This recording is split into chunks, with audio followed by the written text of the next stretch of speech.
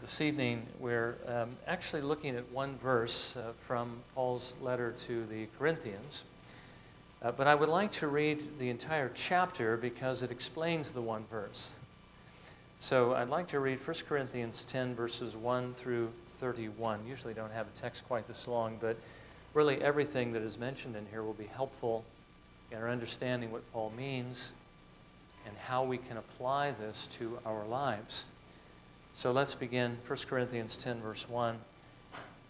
Paul writes, For I do not want you to be unaware, brethren, that our fathers were all under the cloud, and all passed through the sea, and all were baptized into Moses in the cloud and in the sea, and all ate the same spiritual food, and all drank the same spiritual drink, for they were drinking from a spiritual rock which followed them and the rock was Christ. Nevertheless, with most of them, God was not well pleased, for they were laid low in the wilderness. Now, these things happened as examples for us, so that we would not crave evil things as they also craved. Do not be idolaters, as some of them were. As it is written, the people sat down to eat and drink and stood up to play nor let us act immorally as some of them did. And 23,000 fell in one day. Nor let us try the Lord as some of them did and were destroyed by serpents. Nor grumble as some of them did and were destroyed by the destroyer. Now, these things happened to them as an example, and they were written for our instruction, upon whom the ends of the ages have come. Therefore, let him who thinks he stands take heed that he does not fall. No temptation has overtaken you but such as is common to man. And God is faithful, who will not allow you to be tempted beyond what you are able, but with the temptation will provide the way of escape also, so that you will be able to endure it. Therefore, my beloved, flee from idolatry. I speak as to wise men. You judge what I say. Is not the cup of blessing which we bless a sharing in the blood of Christ? Is not the bread which we break a sharing in the body of Christ? Since there is one bread, we who are many are one body, for we all partake of the one bread. Look at the nation Israel. Are not those who eat the sacrifices sharers in the altar? What do I mean then? That a thing sacrificed to idols is anything or that an idol is anything? No. But I say that the things which the Gentiles sacrifice, they sacrifice to demons and not to God. And I do not want you to become sharers in demons. You cannot drink the cup of the Lord and the cup of demons. You cannot partake of the table of the Lord and the table of demons. Or do we provoke the Lord to jealousy? We are not stronger than he, are we? All things are lawful, but not all things are profitable. All things are lawful, but not all things edify. Let no one seek his own good, but that of his neighbor. Eat anything that is sold in the meat market without asking questions for conscience sake, for the earth is the Lord's and all it contains. If one of the unbelievers invites you and you want to go, eat anything that is set before you without asking questions for conscience sake. But if anyone says to you, This meat is sacrificed to idols, do not eat it, for the sake of the one who informed you and for conscience sake. I mean not your own conscience, but the other man's. For why is my freedom judged by another's conscience? If I partake with thankfulness, why am I slandered concerning that for which I give thanks? Whether then you eat or drink or whatever you do, do all to the glory of God. Give no offense either to Jews or to Greeks or to the church of God, just as I also please all men in all things, not seeking my own profit, but the profit of the many, so that they may be saved. Again, Paul's point here is that we are to do everything that we do for the glory of God and for the good of others in order not to put a stumbling block in front of others. By the way, I should just mention this verse 23 all things are lawful, but not all things are profitable. All things are lawful, but not all things edify. I've heard people interpret that verse to say that the law of God is, is defunct. It's, it's something that Christ has fulfilled. I don't have to keep it anymore. Everything is lawful for me to do now. I don't know if you've ever heard that, but that, that is wrong. That's not what he's saying. What he's talking about is food. The Lord certainly has removed the dietary restrictions, and we are free to eat what we will, but not if it destroys a brother or a sister, or even puts a stumbling block in front of an unbeliever in coming to the Lord. We need to make sure that what we do at all times is going to minister to others, is going to show love to others, is not going to put a stumbling block in their way from coming to the Lord. So even though we may have liberty in certain areas, we need to be careful we don't use that liberty to, again, stop people or to offend people or to stumble people. We need instead to become all things to all men in order that we may bring them to Christ that they might be saved. Now, again, Paul, as I have mentioned here, is warning in this chapter between, I mean, it's not just that, it's also being divided between the things of the Lord and the things that are contrary to the Lord. Uh, he points out to the Corinthians first all the spiritual blessings that their spiritual fathers had, and he's talking about the nation of Israel. The fact that they were all baptized into Moses, he says, in the cloud and in the sea. The fact that they all ate the same spiritual food, which was the manna that fell from heaven. They all drank the same spiritual drink, which is the water from the rock. And he said that rock was Christ. I don't think literally Christ, but certainly a picture of Christ. Uh, he is the one from whom the living water comes. If we drink, we will live. And yet, having all these spiritual privileges, he says, with most of them, God was not pleased. As a matter of fact, God destroyed most of these people in the wilderness in various ways with fiery serpents, by the destroyer, by which I think he means the destroying angel that not only, you know, passed over Egypt and destroyed all the firstborn, but sometimes even let loose on the people of God because of their sins. And again, the reason why that happened was because they had so many privileges, spiritual privileges. They had the the Word of God, the oracles of God. They had the promises of God. They had the promises of the Messiah. He was promised to them. And yet, in spite of all the blessings God had given to them, they craved evil things. He says they were idolaters. They committed acts of immorality. They grumbled against the Lord. Now, Paul's point again is that they were counted among the people of God with all these privileges, and yet in the end they were destroyed. Now, why were they destroyed? Is it because eternal security is, is a fiction? It's not true? No. But it's because they didn't trust the Lord. It's because they didn't give their lives to the Lord. It's because they weren't converted by the things God had given to them in order to convert them. Paul's reminding the Corinthians that you can be a member of a church, you can have all the spiritual privileges of membership, be baptized, attend worship, participate in the sacraments, and still end up being destroyed because unconverted. So, how do you draw the line between those who know the Lord and those who don't?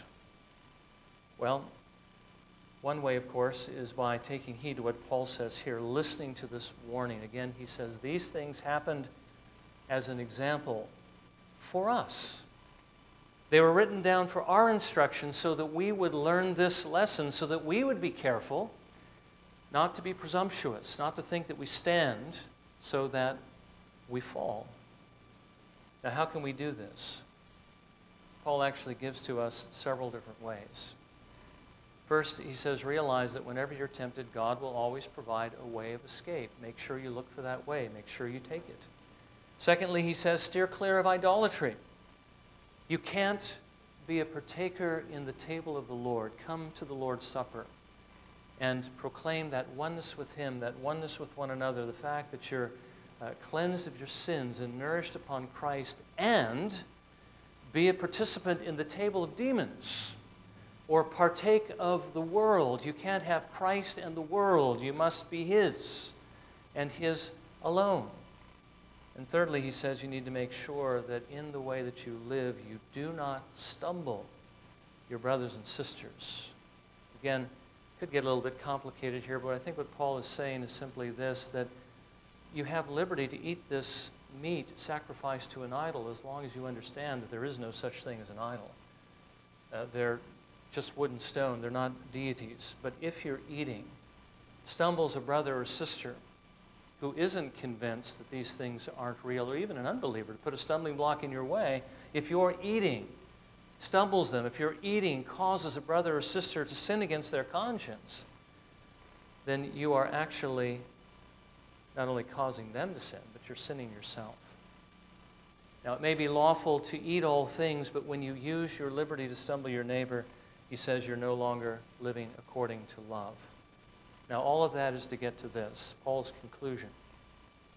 What is the conclusion to all this? He says, Whether then you eat or drink, and again, I think it's referring to the eating and drinking associated with uh, sacrifices, as you just mentioned. Then he says, Or whatever you do, do all to the glory of God. In everything you do, do everything out of love for the Lord, for the souls of men, for the brethren.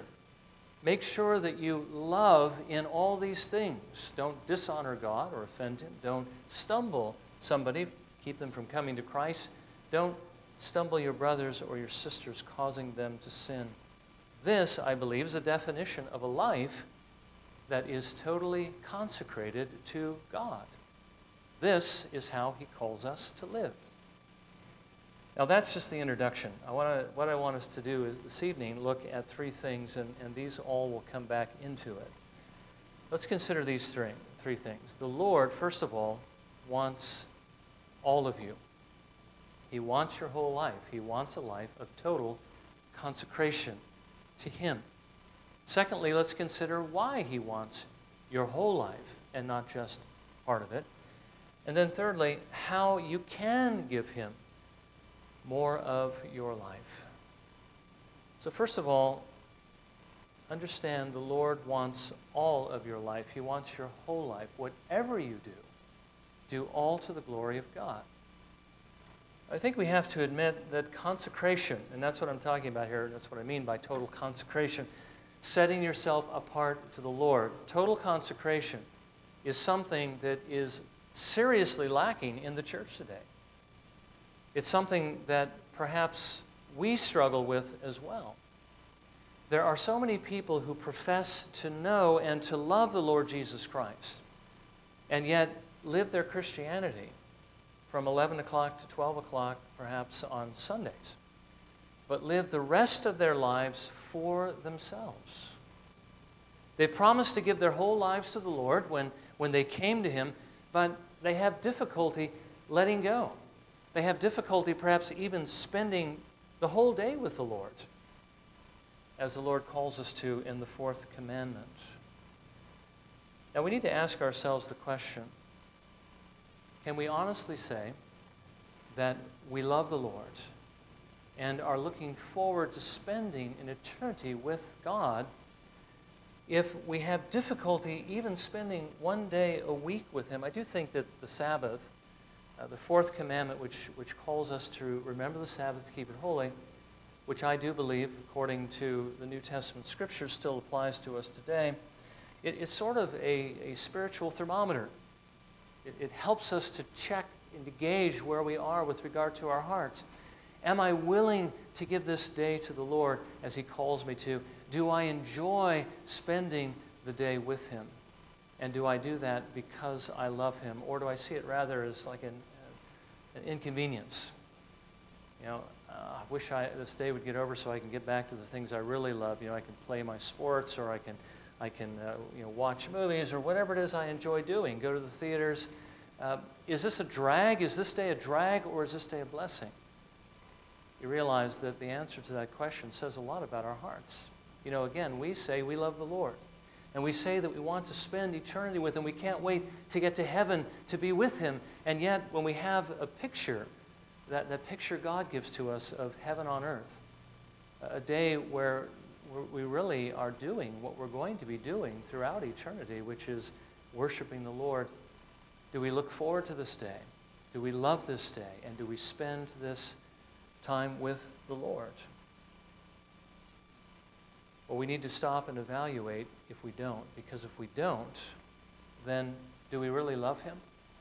Or are we doing this because we really don't want the alternative? We don't want to go to hell, and that's why we do it. Now, again, if we have trouble spending a day with God, what about everything else that He requires of us?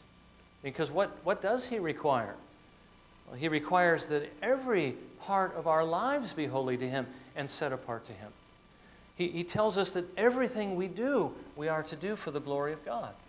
In our meditation, we saw that we are to present ourselves as living sacrifices to God. Listen to what Jesus says also, and again in some very familiar verses. If anyone wishes to come after me, in other words, if you wish to be saved, he must deny himself and take up his cross and follow me. Then Jesus goes on to say in Luke 14 27, Whoever does not carry his own cross and come after me cannot be my disciple. Now, again, how do we conceive of this? Is this just picking the cross up when it's convenient and dropping it when it's convenient? Or is this picking it up and carrying it continually, denying ourselves continually, dying to ourselves continually, and following the Lord? if we can't deny ourselves long enough even to spend one day with Him, how are we going to be able to give Him our whole lives? And you see, this is the point. God calls us to give ourselves wholly to Him. The Lord wants all of you, He wants all your time, He wants all your strength, He wants all your gifts to be used for His glory. He wants all your resources. Jesus says, unless you're willing to give up all your possessions. You cannot be my disciple. He wants your whole heart, your mind, and your soul. The Lord wants everything that you have, everything that He has given to you, He wants you to devote to Him. So the Lord wants it all. Now, secondly, why does the Lord want it all? I mean, is that fair for Him to ask? Well, first of all, it belongs to Him, doesn't it? Everything you are, everything you have, everything you ever will have belongs to Him. He made you, He gave you everything, and it's only right that you be willing to give it back to Him. Remember what stewardship means. We are only stewards over everything God has given to us. And one day we're going to be called account to, uh, to give account of our stewardship, to make sure that we are doing these things for His glory, or at least what we've done with them will be examined. And again, on that day, there's going to be worthless things, there's going to be good things. No one's going to live a perfect life. But as, as best as we possibly can, we are to use what God has given to us for His glory. Secondly, we are to give ourselves wholly to Him because He redeemed you. Remember, you fell away from Him in Adam. And remember, God sent His Son in order to redeem you. He gave his life for this single purpose that we would stop living for ourselves and begin living for him. He came to reverse the rebellion that we fell into so that we would stop rebelling against the Lord and begin following him the way he originally made us to do. So he reverses the effects of the fall and makes us obedient servants. This is why he sent Christ into the world. Why should we give ourselves to him? Because as Christ gave himself wholly to us, the Lord did that. He gave that so that we would do the same and give ourselves wholly to Him. Thirdly, it's the only right thing to do in light of the fact that we're creatures and God is the Creator. Not only because, again, of the things he's, he's done, that He's made us and redeemed us, but because He is God, and being God, He deserves this. He deserves much more than we could possibly ever give Him if we gave him everything we had for the rest of our lives, he's worthy of far more than that. But that's the least that we can give him, the very least that we can do for who he is. Now, fourthly, we should give ourselves wholly to him because uh, this is the means by which he has chosen to bring blessing to other people. It is through us We have to give ourselves to Him in order for this to take place. Now, if we give ourselves to Him, not only will it glorify Him and answer the reason why He actually made us and saved us, but we will become a blessing to other people. Now, as long as we live for ourselves, uh, others are not going to be reached with the gospel of Christ. Others are not going to receive the blessings that God actually offers all men in the gospel. But if we give ourselves to this work, if we give ourselves unreservedly to God, those people will be reached. There will be people who are saved through our efforts. Again, not because it's us, but because God is willing to use us. There are souls that will not have to spend an eternity in hell because we were willing to bring the gospel to them.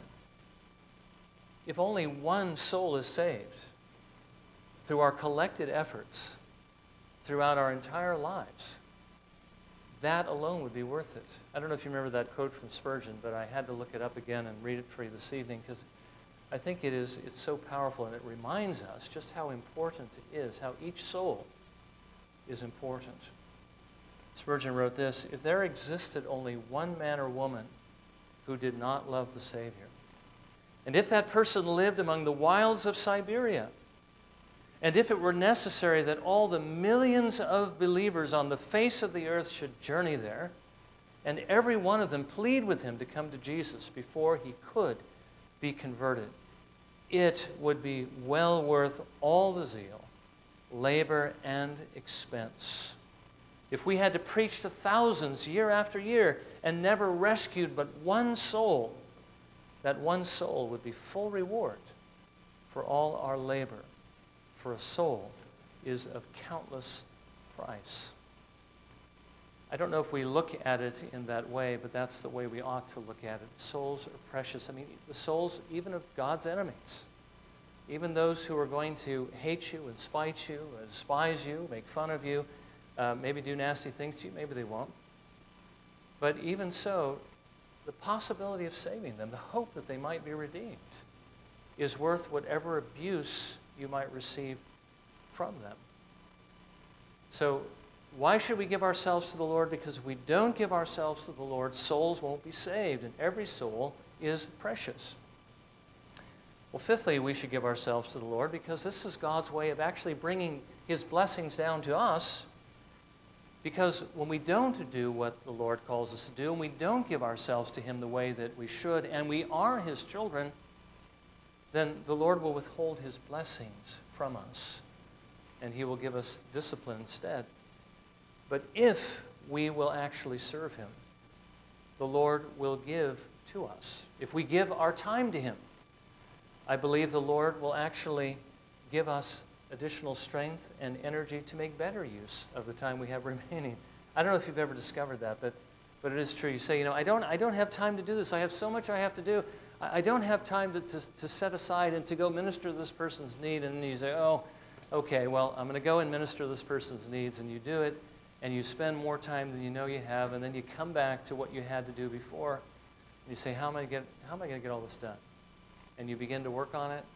And amazingly, it all gets done. It gets done better, gets done more quickly because the Lord is in it, because the Lord is blessing what you're doing.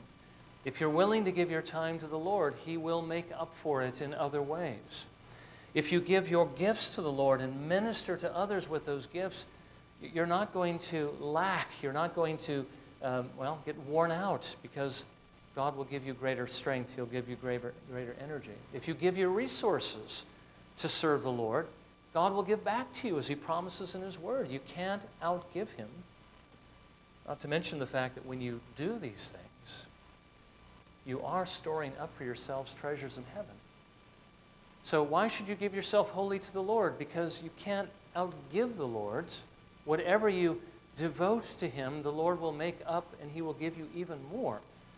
So why is it that some were able to accomplish such great things in the name of the Lord when we kind of look at our own resources and say, there's no way I'm ever going to be able to do that?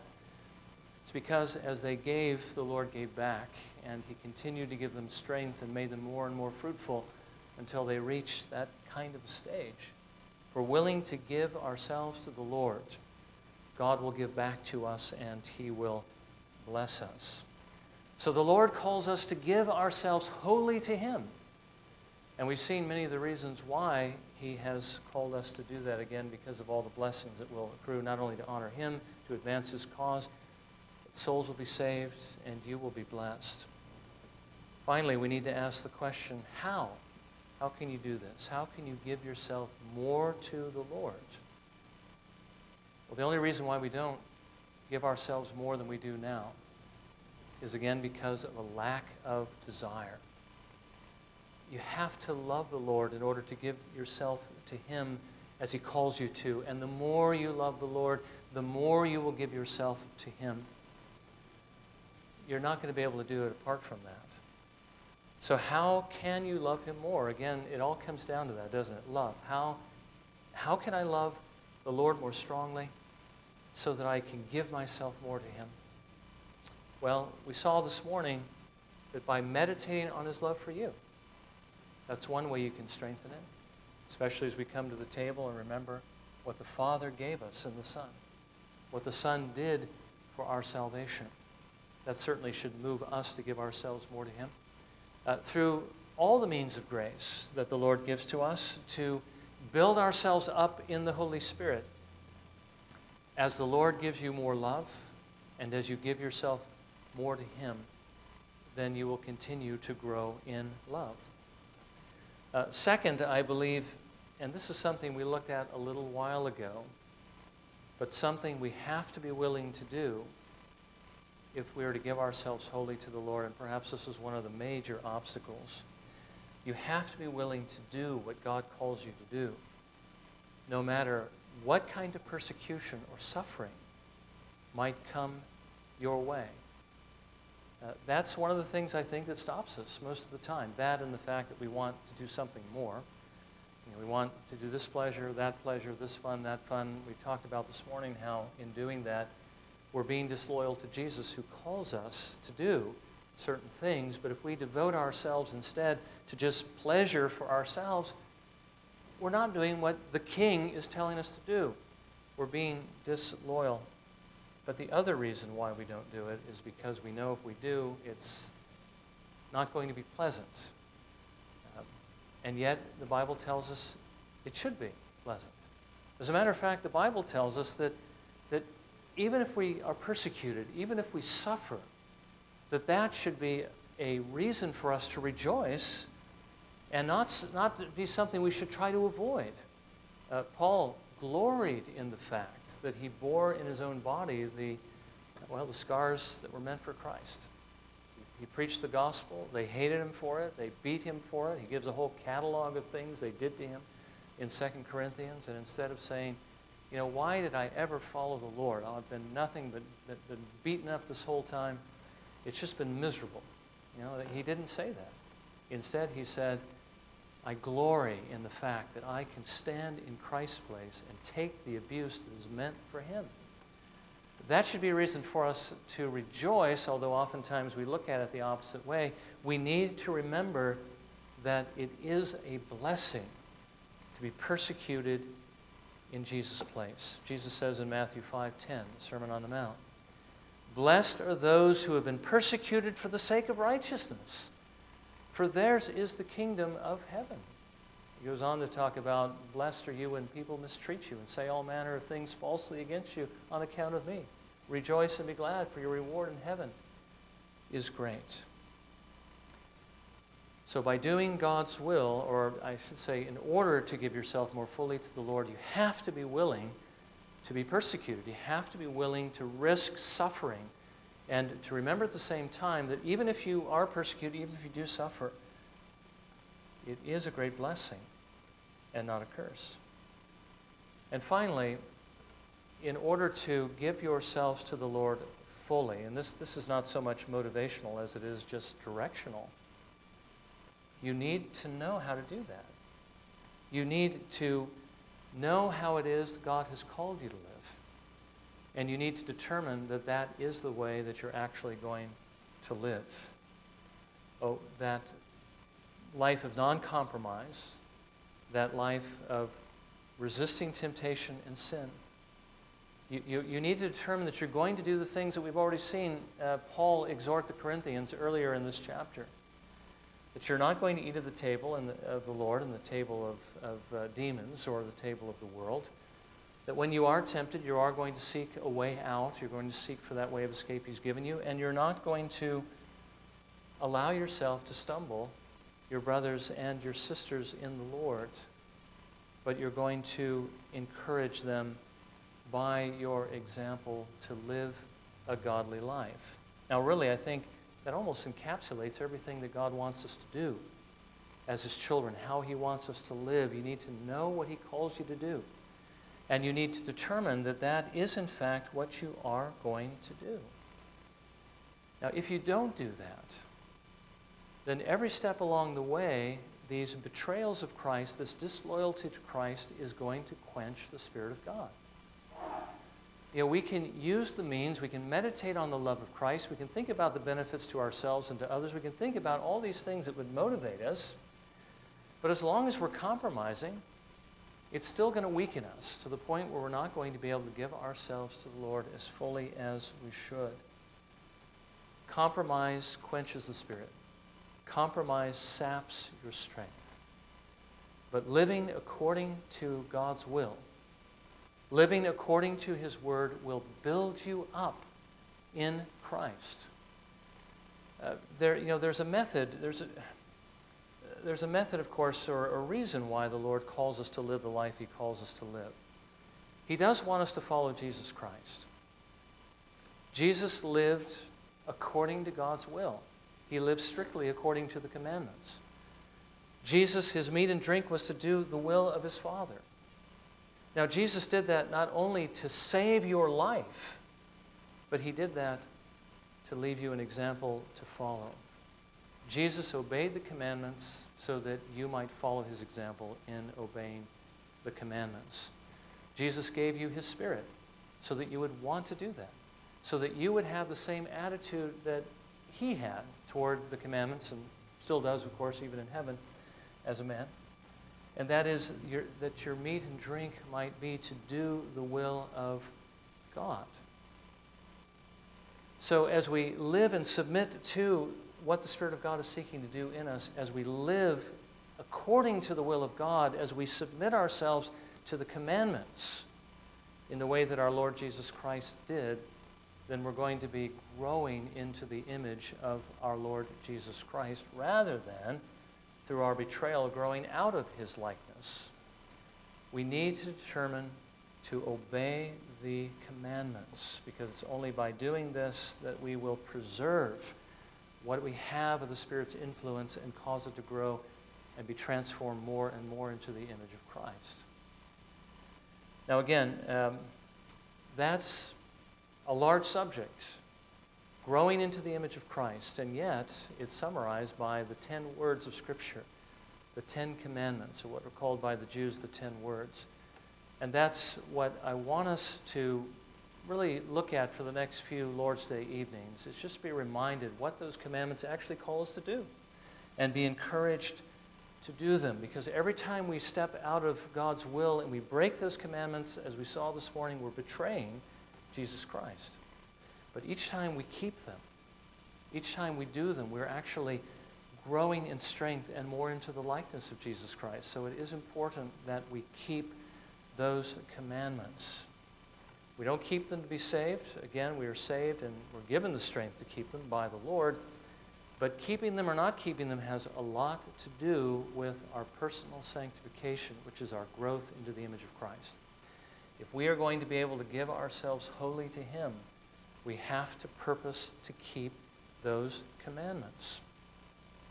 So, we'll, as I've said, we'll begin looking at that next Lord's Day evening, or at least the commandments in particular. But for tonight, remember these things God calls you to complete cons- consecration. He wants you to give yourself wholly to Him, not just a part of you, not just a portion of your time, your resources, and so forth. He wants all of you. All your strength, all your gifts, all your resources. He wants the whole person. He wants you because He made you. He wants you because that's what you owe Him by virtue of creation. That's what you owe Him by virtue of redemption. That's the reason why He redeemed you. And so that you might be a blessing to others as well as being blessed yourself. Now, again, remember what God calls you to do. All of what He calls you to do is good for you. It is the best thing for you. It is the best thing for others. It is that which glorifies Him the most. It is love. That's what He wants. And so, how can we object to that? Well, we really can't, unless, of course, we do not love the Lord. And so, begin to take inventory of your life with regard to the things we've looked at, and more particularly, with regard to God's commandments as we begin to look at these things. Where are you, are you actually succeeding in doing the things the Lord calls you to do? Well, where you see that you're succeeding, pray that God would give to you more grace to do even better. Uh, look for those areas in which you're failing. Failing to resist temptation, failing uh, to, uh, well, by compromising with the world, uh, failing by, by stumbling unbelievers by your lifestyle, or even stumbling believers in the household of God. Uh, find those areas and repent of the things you see that you're doing. Turn around from those things and begin to do what the Lord has called you to do. But for those of you who haven't yet actually given yourself to the Lord, do remember the words of our Lord Jesus Christ as he says further in Matthew chapter 16. For whoever wishes to save his life will lose it. But whoever loses his life for my sake will find it. The Lord says if you're going to follow him, pick up your cross and follow after him. We've seen he wants all of you. If you're not willing to do that, realize the Lord says you will lose your life. If you're not willing to give your life to him, you will lose your life. If you give your life to Him, you will gain it. So don't hold on to your life, but give it to the Lord. Holding on to your life here simply means I'm going to do what I want to do. I am not going to love the way God calls me to love. I am going to live for my own pleasure, my own happiness, or at least what I think is going to bring me happiness. I'm going to do things my way. Jesus says if you do that, you forfeit life. But if you will, in fact, submit to Him and trust Him, pick up your cross and follow Him and do things His way, you will gain your life. You'll actually find it is a far better way to live than any way that you might choose to live otherwise. He will give you eternal life, which begins here as a quality of life, but as you know, extends forever in heaven and gets amplified even more there. So don't take another step toward hell. But turn to the Lord in faith if you have not trusted in Him and receive His gift of eternal life. And then do what He tells you. Pick up your cross and follow after Him. Give Him all that you have. And the Lord will bless you in ways that you couldn't even imagine. It is truly the path to happiness. Well, may the Lord help all of us to give ourselves to Him. As we're faced with choices either to obey Him or not, as we've seen this morning, let's not betray Him. Let's give ourselves fully to Him for His glory and His honor, and you will be blessed. Let's bow in a moment of prayer and let's ask the Lord to help us do that.